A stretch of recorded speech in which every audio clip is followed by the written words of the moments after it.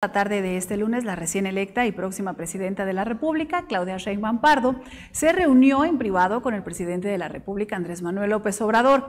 Esto para discutir temas en cuanto a la transición de gobierno y continuidad de Proyectos para la Nación, a lo que posteriormente en conferencia de prensa en Palacio Nacional, Claudia Sheinbaum informó acerca de lo discutido, enfatizando en primer lugar la importancia de este resultado histórico en las elecciones. Además, también Claudia Sheinbaum detalló el primer paquete de reformas constitucionales que discutirá, discutirá la nueva legislatura en el Congreso. Escuche bien, parte de este paquete es una reforma que eleve a rango constitucional un programa social de apoyo a mujeres entre 60 y 64 años. Además, también una reforma a la ley del ISTE promulgada en 2017. Entre los cambios se estipula un aumento a la pensión de los maestros. También se tiene contemplada una reforma que eleve a rango constitucional un programa social de beca universal, además de también una reforma que prohíba constitucionalmente la reelección